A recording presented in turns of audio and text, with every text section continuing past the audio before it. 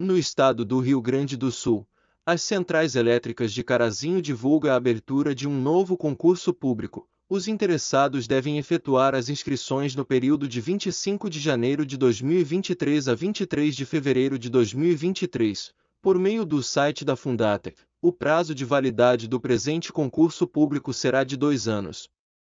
Acesse nossa loja virtual através do link na descrição, para ter acesso ao edital e material para todos os cargos deste concurso.